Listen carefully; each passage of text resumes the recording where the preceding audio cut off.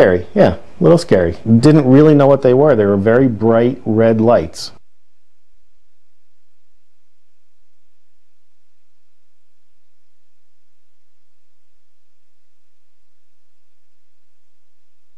They were just kind of floating along. We didn't really know what they were.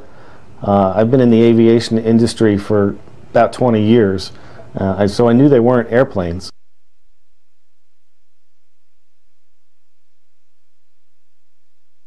It didn't seem to be moving at all. Um, it was very, very distinct. Very distinct. I've never seen anything like it. It was kind of strange. Just that they looked like very like in a formation, that they had a purpose. What do you think those red lights were? Aliens? Really? New Jersey's like the melting pot of the world, so I guess it's time for UFOs. If they're coming, they might as well come here first. Unidentified flying object? Absolutely. Sort of streaked down toward New York, and the final one just kind of went blip, disappeared. Really? Just it's cool. blip? Yeah, I'd say blip.